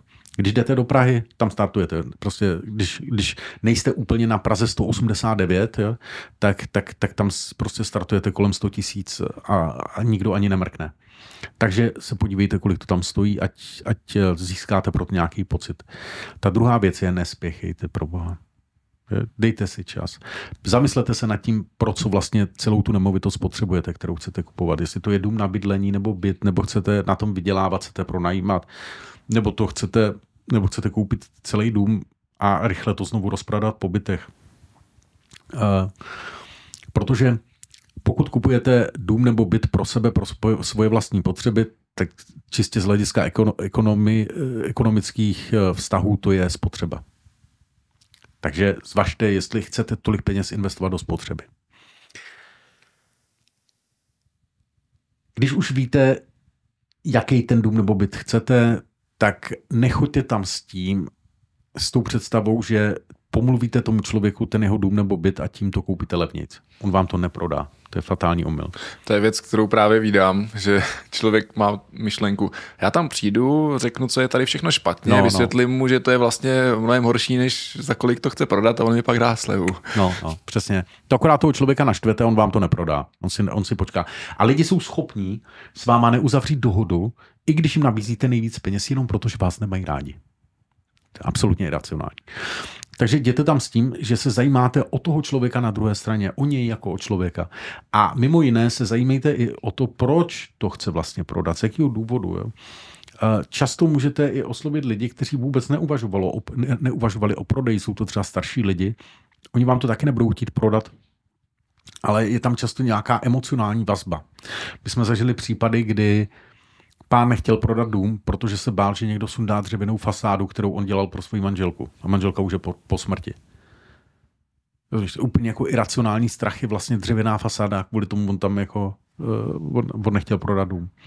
Tyhle ty věci, když dokážete těm lidem vyře, vyřešit, tak, uh, tak máte velkou šanci, že, že, že to od nich můžete koupit. Nebuďte agresivní. Nechoďte tam, zapomeňte na všechny ty potetované borce s ukrajinským přízvukem nebo ruským přízvukem, který natáčí YouTube videa, jak, jak dobře vyjednávat o nemovitosti. Uh, nejděte tam s tím, že ty lidi chcete okrást. Vždycky se posaďte na, na druhou stranu, jestli byste chtěli, aby, aby někdo vás vyštímal jenom proto, že jste si něco nepohlídali nebo na něco nekoukli. A když už začnete vlastně na toho člověka, od kterého chcete kupovat, koukat jako na partnera, tak razantně zvýšíte šance, razantně, že to koupíte a koupíte to dobře. Musíte vědět, kolik na to máte. A velmi důležitý je, že než začnete vyjednávat o ceně a o podmínkách, tak si to pro boha zkuste na nečisto. Jak se tohle dělá? Normálně si sednej se svým kamarádem, Ondro, budeme mu říkat třeba radím, zapnete kamery a já budu prodávající, ty to ode mě chceš koupit a normálně to zkusíme vyjednat. Pak to hned prohodíme. Ty jsi, ty jsi prodávající, já to od tebe chci koupit, aby zjistil, jak se cítí obě ty role. A pak se na to koukneme spolu na videu a, a zjistíme, co jsme tam vlastně dělali za věci. A, tohleto, a to, že tam říkáš blbosti, že nevíš, co máš říct, že jsi nejednoznačný, že, že mláčíš prázdnou slámu, nebo že jsi nepříjemný, agresivní a podobně, tak to vidí každý. To jako na to nepotřebuji žádného trenéra vyjednávání za stovky tisíc. Stačí prostě se na to video podívat a, a opravit sám sebe, říct si, jako fakt chci takhle tam příští týden vyjednávat tímhle tím způsobem. To je super rada. Hmm. Uh, ještě se zeptám, ty jsi zmiňoval toho pána s tou dřevěnou fasádou a říkal si, řešili jsme, a to si kupoval nějaký investiční nemovitost pro sebe, nebo si pomáhal někomu právě v rámci toho nákupu? To jsem pomáhal. Mm-hmm, jo, jo, to znamená, že pokud eh, někdo potřebuje třeba uh, pomoc i v této oblasti, tak dokážeš taky pomoct. Dokážu pomoct, jenom prosím nás, není to na nákup 2KK. Jo. To by se nevyplatilo ani jednomu z nás asi. Mm-hmm. Takže když se jedná o větší akvizice čehokoliv, ať už jsou to třeba firmy nebo tak, tak eh, to je přesně to místo, kde mm-hmm. to znamená obchodní vyjednávání, to je to, kde jsi jako doma. Ano. Dobře. Pojďme teda k tomu, co vlastně vy nabízíte. Respektive ne, ještě ne. Podívejme se ještě na, ten, na tu nemovitost teda z té druhé strany. Myslíš z pohledu... Z pohledu toho prodávajícího. Uh, tak, pokud prodáváte, tak uh, vlastně... Jsme, jsme si řekli, víc, že jako prostě neprodávejte. A vy to neprodávejte, neprodávejte, neprodávejte, prostě neprodávejte. Ale já ti na tohle to budu zase kontrolovat lehce. Um, ono je pravda, že to nikdy v tom horizontu deseti let um, nešlo dolů, ceny nemovitostí. Na druhou stranu jsou tam určitý, jako je tam určitá amplituda, je tam určitá, jako uh, ten desetiletý mm, cyklus, kdy to jde opravdu nahoru, dolů, nahoru, dolů a dost možná, pokud to člověk dobře načasuje, tak prostě může uh, prodat teď a za tři roky nakoupit a může na tom třeba vydělat, nebo naopak koupit teď a uh, prodat. A prodělat. Ano, jasně, to záleží, jak mu půjde časování trhu, ale že si nemyslím, že to nutně musí být jako špatná strategie. Určitě to nemusí být špatná strategie. Pokud, pokud točíte nemovitosti ve velkým, tak, tak, tak určitě jako určitá část určitou část je dobrý odprodat a, a koupit něco jiného, osvěžit to portfolio.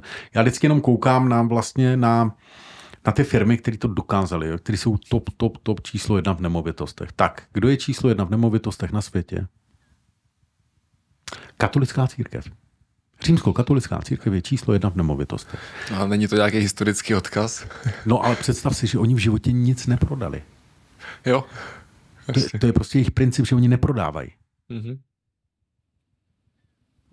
A teď je otázka, jak k tomu přišli, no. a tak lidi jim to dávali. Jo, to je právě na tom to hezký, že, že dokonce lidi jsou ochotní dát nějaké instituci celý svůj majetek. Mm-hmm. V rámci třeba mm, jako posmrtný no, závěť. Přesně, přesně tak v závěti. Mm-hmm. To mi přijde dobrý. Jo, no, jestli by to chtělo vytvořit nějaký vlastní náboženství. Jo, jo, pracuji na tom. Oni už, už někteří mě označují, že, že buduju církev Radima Paříka a, a, že, a že jsem guru, tak eh, tak nejsem, nejsem přátelé, ani církev ještě nefunguje, protože kdyby to fungovalo a byl bych guru, tak už mi ty lidi dávají svoje majetky a to oni mi nedávají, což teda jako považuji u svých fanoušků jako za dost velký přešlap. A takový jako nedůkaz fanouškovství, jo, takže pokud chcete být opravdový fanoušci, tak aspoň půl majetku. Já nepotřebuji celý tvůj barák i s ženou, jo, ženu si nech, Když bude v 80 umírat, tak ta žena pravděpodobně... Uh, uh, no to je jedno, ale tak zakomponoval bych tam určitě trošku EZO, a možná nějaký vesmírný lodě a tak. To lodě, jo, to mě nenapadlo, no. Jo, jo, na to lidi slyšejí. Tak jo, tak uděláme, no. Udělá, udělá, tak uděláme Vyjednávání u nebeských bran. To bude nový, pro, nový program. Ano, ano, a zároveň církev a v rámci toho člověk se tam bude moct. A bootcamp bude takový čtyřdenní vymývání mozku a, ano, ano, ano. A pak s tebou odletí na té lodi a, a pak tam bude součástí na konci toho bootcampu bude podpis té závěti. Jo, přesně a ještě to, a ještě vlastně vše, všechny ty, vše, všechny ty mladý, ambiciozní ženy budeme odebírat těm manželům, protože kdo jiný by tam měl, eh, by měl darovat eh, božské sémě, že? Ano, ano. Plán je to dokonalý. tak jo, přeju hodně štěstí. Dobře, dobře.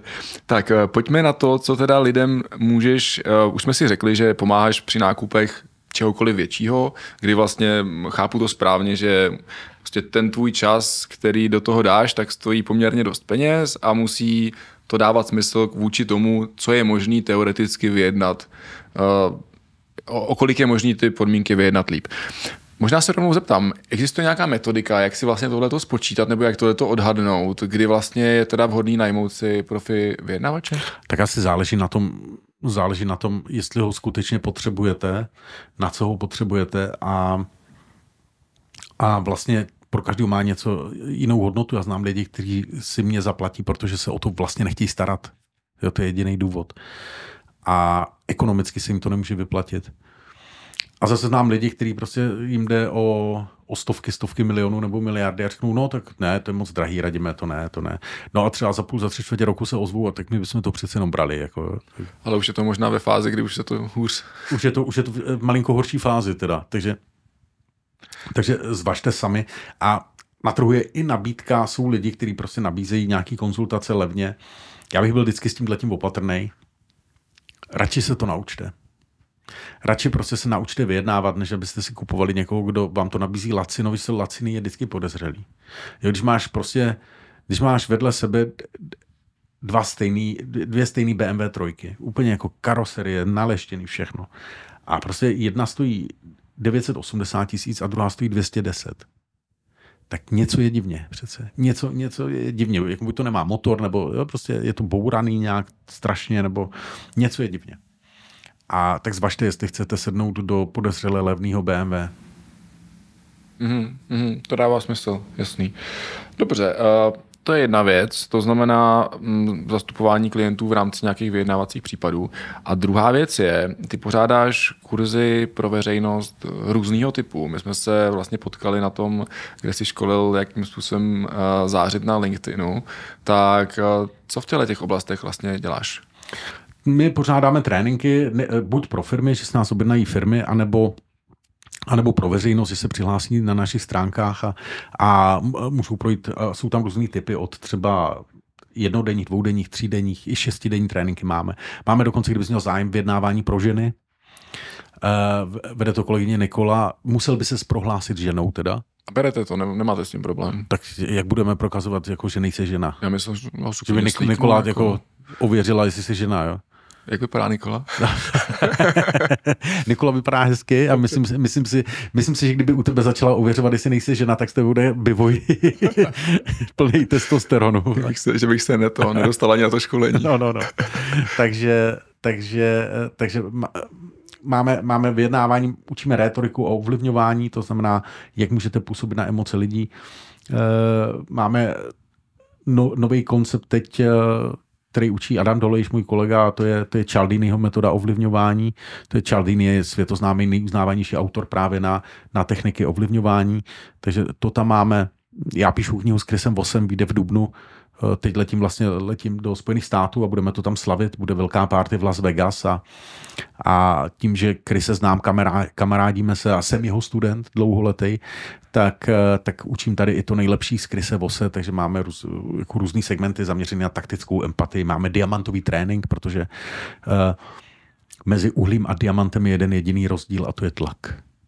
Mm-hmm. Takže, to je pravda velice hluboká myšlenka. Takže vy máte, vy máte svoje vlastní rozhodnutí ve svých rukách, jo.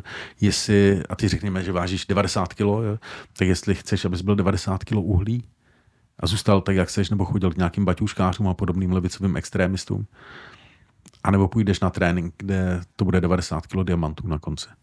Hmm, hmm, hmm. Uh, a potom ještě chystáme konference, máme každý rok, tak letos bude opět v říjnu 8.10. na Pražském hradě a přiletí právě nejslavnější vědnavač světa Chris Voss. Bude tam mluvit eh, a budeme spolu podepisovat i naši společnou knihu. Mm, mm, mm, super. Dobře, uh, zmiňuješ ty zahraniční autory. Mě by teda zajímalo, uh, pověz trošku co jsi procestoval v rámci tvojí profese, jestli jsi v nějakých vyjednávacích týmech byl různě třeba na různých kontinentech a vlastně si viděl nějaký rozdíly mezi těma povahama těch jednotlivých národů a lidí z různých částí světa v kontextu toho vyjednávání. Jestli jsou někde nějaké obyčeje nebo zvyky, které by nám třeba připadaly divný a tak tak eh, vlastně ty národy vyjednávají jinak a je to jasný, že Američani jsou jako mnohem asertivnější ve vyjednávání a to, co my bychom považovali za dnes dvořilý, to je pro ně úplně normální. Eh, zase zapomeňte na téma americká korektnost v tom, jak se to tady vypráví. To, nic takového oni nemají. Oni, oni jako chrání menšiny, to je jasný. Eh, a umožňují třeba, jak jsme se bavili o manželství pro všechny, kteří chtějí, bych to nazval, tak tak eh, v Americe na Harvardu není vůbec problém, že to máte třetí toaletu nebo čtvrtou toaletu pro nějaký jiný pohlaví, to jako se nad tím nikdo nepozastaví, prostě ať, ať si každý chodí na toaletu, kam vlastně chce, jako, to nehraje roli. Ale jinak oni jsou v tom vyjednávání velmi tvrdí. Uh, vyjednával jsem v Africe, vyjednával jsem v Ázii, prostě pokaždé je to jiný koncept v Ázii. Tam je, tam je, tam je několik důležitých principů. Ten první je, že oni nesmí ztratit tvář tím bych začal. To druhý je, že oni si o nás nemyslí vůbec nic dobrýho, Aziati jsou rasisti, prostě tečka. Eh, čtvrtý, eh, třetí, třetí princip velice důležitý je, oni používají, použijou jaký, jakoukoliv nás, jakýkoliv nástroj, metodu, klidně i lež nebo podvod, aby dosáhli svýho. A vůbec je to netrápí. Vůbec. Protože jejich svět je duální. Oni mají ten princip, ten Janka Yin a v každém dobru musí být kousek zlá, v každém zlu musí být kousek dobra, takže oni to nevidí tak úzko, prostě jako, ale ty jsi mi teď lhal, Ondro, ty jsi hrozně špatný kluk, no, no a on řekne, no a co, vole, jako, jo. tak jsi na to přišel, tak jdeme dál, jo. to je vůbec, takže, takže eh, nesmíme si to brát osobně a uh, oni věří na hodně věcí, uh, jakože oni, oni mají ty principy, že oni mají nebe, země a, a teď, teď prostě oni, oni věří tomu, že když se nějak chováš, tak se to promítne někde jinde. Hmm. Uh, takže, takže je to zajímavé. A pokaždé vlastně, byť já mám za sebou já jsem studoval na vysoké škole právě globál, program globálního vyjednávání, tak pokaždé, než se setkám s nějakým národem, tak já si to musím znovu načíst a znovu zaktualizovat, protože to si jako vůbec si to nemůžeš pamatovat všechno. Eh, když vyjednáváš s, s Araby, tak eh, pokud jim aspoň 60krát nezopakuješ něco, že to opravdu chceš, tak oni ti to nevěří. To je taky jako neuvěřitelný vlastně. Nás to řekneš třikrát a řekneš, ty, on mi to nechtěl dát. No on neví, že to chceš. To třikrát je málo. Jo. A to jsou specifika, které prostě jako musíš pochopit a současně nesmíš udělat to, že třeba si zhodíš nohu přes nohu a podrážkou ukážeš na toho svého arabského partnera. Mm-hmm. Tak jak my to děláme, jak lidi takhle dají tu nohu a ta podrážka tam směřuje, tak pro ně je to hluboká urážka. Mm-hmm. Jo, to jsou, to jsem zase slyšel tady tu věc a takových věcí bude jako na, to znamená ty, než, jako jsou mají různý národy různý, jo, to znamená ty asi předtím, než jdeš na nějaký takovouhle takovouhle misi, tak musíš i si nastudovat ty jejich zvyky, aby si právě na tyhle věci byl připravený. Že jo? Musíš, musíš, musíš vědět, čeho se musíš vyvarovat, jo, abys prostě se nedotkl, protože ty, ty, ty, ty, teď eh, dám příklad, prostě kdyby přijel někdo z nějakého národa, sem a oni prostě pro ně úplně běžný, že když se ukázat, že se, ti, že se mu to líbí, to ukáže takhle. Jo, jo. A tady by to začali ukazovat, tak nám by se to nelíbilo, oni musí vědět, nebo pokud jsou trošku chytří, tak si zjistili, že u nás tenhle ten symbol znamená něco úplně jiného. Hmm, hmm. Takže to, to musíme vědět taky. No. Hmm. A jsou stejný signály napříč těmi kontinenty v případě, že člověk, člověk třeba lže nebo vytváří nějaký jako konstrukty, který, nebo se chce vyhnout nějaké odpovědi, nebo tak, je to jako univerzální? To je univerzální, protože neverbální komunikace je univerzální. A vychází z toho, že my máme vlastně všichni stejné tělo. Máme stejný nervový zakončení a všechny ty ty nonverbální projevy třeba toho, že ten člověk je nervózní nebo že, že, že třeba nemusí nutně říkat pravdu, tak eh, vycházejí, vycházejí z míst, kde je mnohem hustší nervový zakončení. Tam se to začne prokrvovat, ono to začne svědět, eh, to, to jsou prostě ty nosy vnitřní strany stehen, eh, rty, ale třeba i tady kolem těch, kolem tváří, ono to vypadá hrozně chytře, že ty lidi přemýšlí, Mm-mm, oni nepřemýšlí, oni jsou nervózní, oni se stabilizují, protože tady je hodně nervových zakončení. Má, má to smysl, protože když, jsme, když nás matky kojily a my jsme jako ještě se neuměli pořádně orientovat, tak jsme se orientovali jenom vlastně tady tím třením a vlastně, že tam dojdeš. Jo. Proto ostatně jako lidi se tak strašně jako rádi líbají a různě jako se třou těma část má obličeje o, o jiný části těla, protože, protože tam je hodně nervových zakončení, tím to je.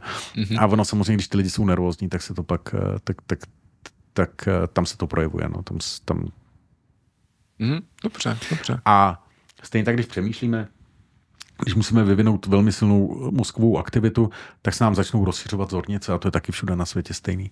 Takže když musíš přemýšlet, tak, tak eh, se dostáváš do stresu, rozšiřují se zornice, ono se to dá i měřit, jako v okolí se rozšíří ty zornice a, a podle toho je ta míra míra intelektuální aktivity eh, vysoká, nebo, nebo třeba i stresu. Zajímavý na tom je, že já jsem díky studiu vyjednávání dostal odpověď na to, co je talent.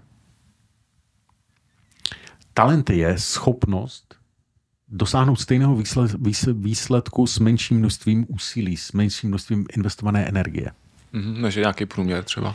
A je to dokonce, a je to dokonce i změřený, že vlastně třeba extrémně inteligentní lidi potřebují na vyřešení úkolů mnohem menší množství energie, méně se jim rozšiřují zornice a dokonce se jim zapojuje méně části mozku než třeba u průměrných lidí. A u talentu je to stejný, když má někdo talent třeba, já nevím, na zpěv, malování, kreslení, nějaký sport, tak aby dosáhli toho výsledku, tak oni spotřebovávají méně energie. Oni vlastně mají už danou, jako kdyby měli rutinu v tom a zapojuje se jim i méně center mozku, než u lidí, kteří ten talent nemají. Mm-hmm díky tomu se to dokážou rychleji potom naučit a zdokonalovat. Jasně, jasně. Dobře, dobře. Um, měl jsem ještě jeden dotaz právě k tomu poznávání eh, lži, respektive spíš než poznávání, tak uh, hypotetický příklad. Uh, si na jednání někde um, třeba v Číně s nějakým azijským mm, vyjednávacím týmem na druhé straně, poznáš, že teda tam dochází k nějaký lži. Jak na to teda reagovat, když si mají zachovat tu uh, tvář. Hmm. Tak ono, jako rozpoznat, že dochází ke lži je hrozně těžký. Tím bych začal, protože my potřebujeme ty věci posouvat v kontextu a to, že někdo se takhle podrbe na nose, tak to vůbec neznamená, že lže. Jo. To třeba má jenom rýmu, jo. nebo, nebo uh, se mu blbě sedí jo, a už neví, jak by si sedl. Takže jako, vždycky tam, tam je potřeba určitá sada těch znaků v určité situaci a vždycky první, první důležitá věc je, že zjišťujeme, co se stalo před tím, než to hmm. nastalo. Mm-hmm. Já, taky se nemuselo stát nic a taky to může být jenom, že ten člověk jenom tam vysí hodiny, já se na ně podívám a řeknu, ty vole, už jsem měl být jinde teď. Jo, a v tu chvíli, tu chvíli mám stres a mohli bychom to chybně vyhodnotit, že, že teď mě přistihl při lži. U těch Aziatů je to těžký obecně, protože oni umí zachovat tu uh, skutečně kamennou tvář, uh, anebo se neustále usmívají. Ten, to směrodatný jsou zornice a hlavně vy musíte být přesvědčeni o tom, že, nebo musíte vědět, že jednáte s tím správným člověkem. Hm.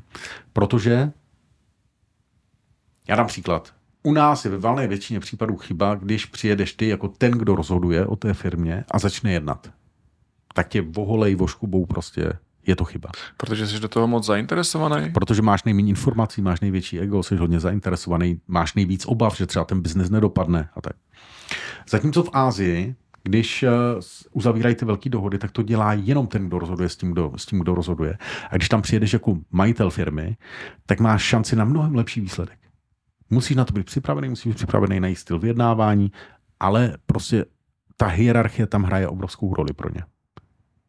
Mm-hmm, rozumím, dobře. A teďka teda, eh, když poznáš, že tam něco smrdí v tom jejich chování, tak eh, jak na to kontrolovat? Jako, já si to moc nemůžu představit, když teda já bych, bychom tady spolu jednali, já bych, eh, ty bys mi řekl třeba nějakou věc, o který já předpokládám, že pravděpodobně to není pravda, hmm. uh, signalizuje tomu tvoje mimika, tvoje zornice a podobně, tak uh, jak to jako otočit, abych jako z toho hmm. vyšel dobře? Nebo tak ty... záleží, na, no, záleží na tom, jestli to, je, jestli to je nějaká relevantní informace, nebo ten člověk jenom plácá. Jo, například jo. vezmu tady tu kuličku a řeknu, uh, Ondro, tohle je kulička Rafaelo a tu jsem vyrobil ručně. Jo. Takže v případě, že se jedná o kuličku, tak já můžu klidně říct, výborně radíme, to jsi moc šikovnej, že si to dokázal. No. A nemusím to vůbec řešit. No, že? no, a řeknu, díky za informaci, kdybych jedl sladký, určitě bych si dal. Hm. Jo, OK, OK. Tak. A když jde o něco zásadního, tak my nejdřív musíme dát těm lidem šanci, aby s tou vycouvali. Takže, takže já můžu říct, ale mě, jako něco uniká, pomoct mi pochopit, jak jste k tomuhle došli třeba. Mm-hmm. Od, nebo odkud máte tu informaci. Nebo jak jste tohle spočítali. Nebo prostě nechám ty lidi, nechám ty lidi, aby oni sami to vysvětlili, že třeba se přeřekli, nebo že uděla, nebo že vlastně mysleli něco úplně jiného. Mm-hmm. Jako netlačím je ke zdi, jo, protože když je začneme tlačit ke zdi s tím, že lžou, tak oni se začnou bránit, protože nechtějí přiznat, že lžou. Pokud bys, ty ne, ty jsi jako čistá duše, ale kdybys někdy v životě lhal, tak tvoje největší obava by byla, že to odhalí někdo. A když už na, by na to někdo přišel, že s náhodou lhal, tak, tak bys ty se začal bránit, že to není pravda. Jo, že, že nelžeš, že to jenom blbě pochopili. Hm? No nevím, možná ne, to záleží asi o co by šlo, ale ale... Um... Já tam musím říct, že jsem ještě nepoznal příliš mnoho lidí, kteří by řekli, jo, radíme, teď jsem ti lhal. Řeknu, hele, to se mi nezdá. Jo, tak dobrý, teď, teď jsem ti lhal. To je fakt. To, asi a, a, a, jinak jsme kámoši dál, ne? Co? jo, ne, ty lidi se budou rvát prostě do krve. Jo. Do krve, že říkají pravdu, i když jako už všichni vědí, že lžou. Oni vědí, že lžou. On, oni už i ví, že všichni ví. OK, OK. Jako mohla by to být vtipná situace, kdyby ten člověk potom řekl, a ah, tak jo, tak jsi dostal, no, dobře no, ty. No. Jo, to by, jakože opravdu jsem lhal, bingo. Uh, OK, to asi nedává smysl. Hmm. Dobře. takže ono je, to, ono je to těžký, protože ta ztráta tváře je pro nás velký téma. Mm-hmm. A takže ty lidi tam jako ne, uděláte, si, uděláte si zbytečně nepřítele, ale já se nepotřebuju s tím člověkem kamarádit, o to mi vůbec nejde. Mně jde o to, aby jsme se dohodli, já když vím, že ten člověk je zvyklý lhát, tak potřebuji nastavit v té dohodě mechanismy, abych, abych to pohlídal, že ta dohoda bude i funkční. A když tohle to dokážu, tak já už se s ním tak zase nemusím nikdy vidět. Mm, jo, jo, jo. Dobře. Uh, já jsem tímhle uh, asi vyčerpal všechno, o čem se s tebou povídat jsem chtěl. Vidíš to, my na to máme i trénink, čiže jsem na to úplně zapomněl. My máme no, trénink, ten se jmenuje Rengen lži. Aha, aha. Takže... A máte tam rentgen, respektive detektor, detektor lži, to asi ne, že? Tak uh, my jsme ho tam měli, jenomže, jenomže on si na to nikdo nechtěl sednout. a my jsme to ukázali. Takže, takže je zavřený ve skladu, ale v každém případě máme rentgen lži, uh, kde se učíme nejenom rozpoznávat ty znaky, že lidi jsou ve stresu a něco se děje na druhé straně, uh, ale i to třeba, jak sami nebudete tolik signalizovat, že jste ve stresu a, že by vás, a mohli by vás třeba i podezřívat ze lži, tak jak na to. Já jsem si představil, proč by se toho ty lidi báli, ale dost možná proto, že byste je tam posadili, napojili a teďka by se báli ty lidi, že se jich zeptáš na nějakou otázku, na kterou opravdu nechtějí odpovědět. Mm-hmm. a ještě se zeptám k tomu detektoru. To se měří co, jako puls? Nebo... Tam, tam, tam, se, měří, tam se měří spousta, spousta věcí, od, od pulzu přes napětí, například napětí v kůži se mění. Aha. Eh, se měří a mění, protože se stoupajícím stresem, že tak dochází k různým uh, chemickým koktejlům a to se projevuje právě na napětí kůže, na vlhkost a tak dále. Mm-hmm.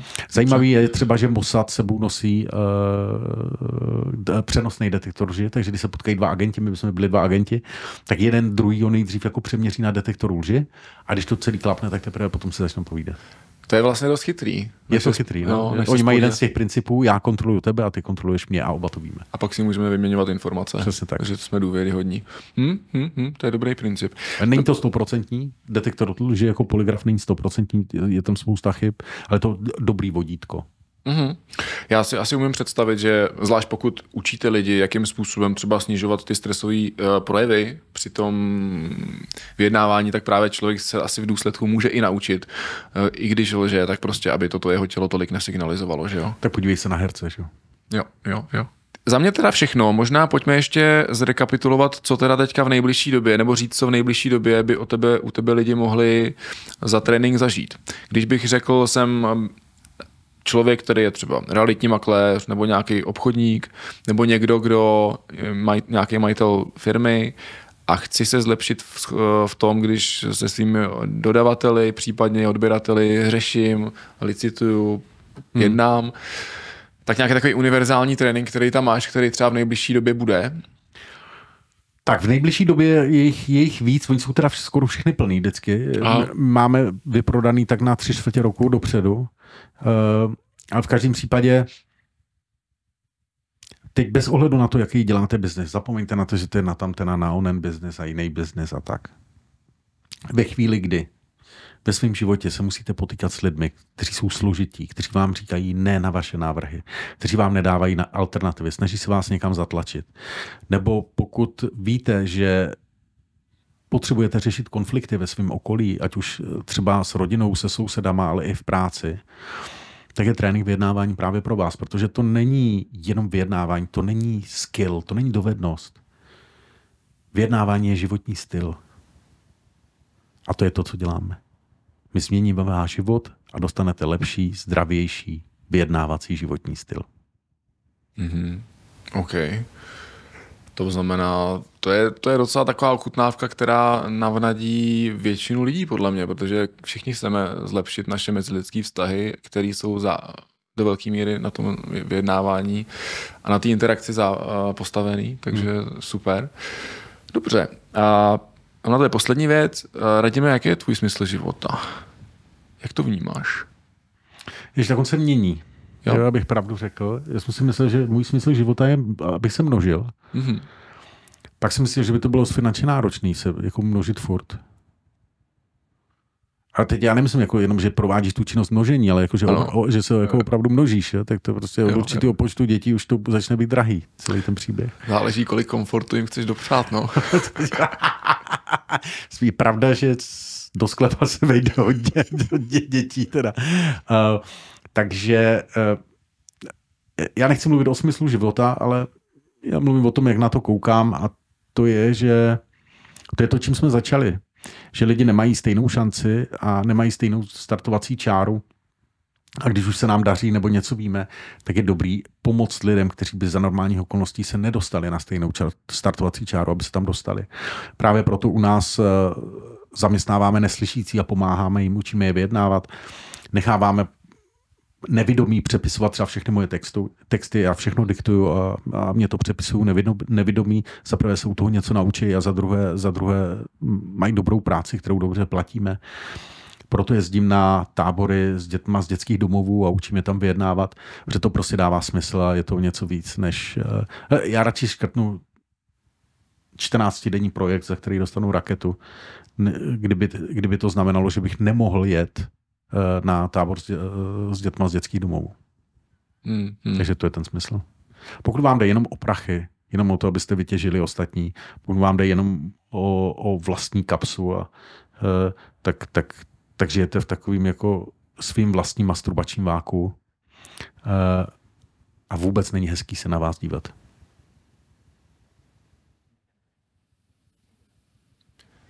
Díky, že jsi přišel. Díky za pozvání, Andro.